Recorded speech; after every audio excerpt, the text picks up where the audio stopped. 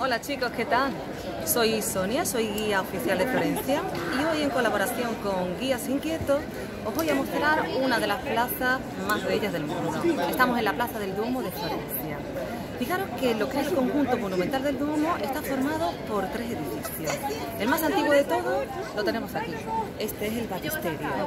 Por otro lado estamos viendo el campanario o campanile de Giotto y por otro lado estamos viendo la catedral.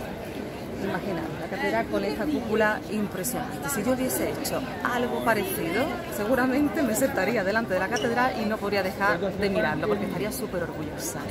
Pues bien, en el siglo XIX los florentinos ya pensaron en eso. Decidieron de colocar las esculturas de los dos arquitectos principales que realizaron esta catedral. Os lo voy a presentar. Uno se llama Arnolfo de Cambio y el otro se llama Brunelleschi. Vamos a verlo.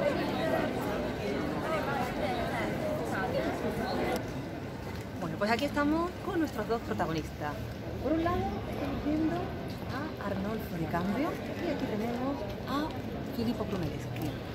¿Quién era Arnolfo de Cambio? Arnolfo de Cambio, estamos a finales del siglo XIII, el arquitecto más importante de Florencia porque hizo las cosas más representativas de esa época en la ciudad.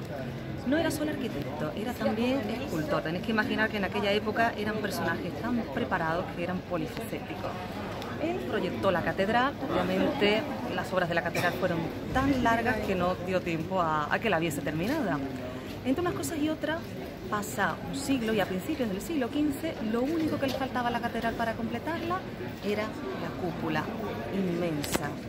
Esta cúpula mide 114 metros de alto por 45 de ancho. Fácil no era. ¿Y quién la realiza? Pues, ¿quién he dicho? Filippo Brunelleschi.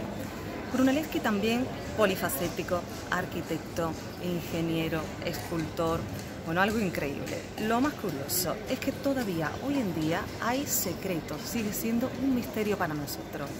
Nosotros, hombres tecnológicos del siglo XXI, si quisiésemos realizar una cúpula con los medios y las técnicas que usó Brunelleschi en el siglo XV, a día de hoy no sabríamos cómo hacerlo algo que como digo continúa siendo un enigma para nosotros. Así que os animo a venir aquí a Florencia para que descubráis un poco sobre cómo se construyó esta cúpula, todas las anécdotas y todas las cosas interesantes que se pueden mostrar en el interior del Duomo. Os espero en Florencia.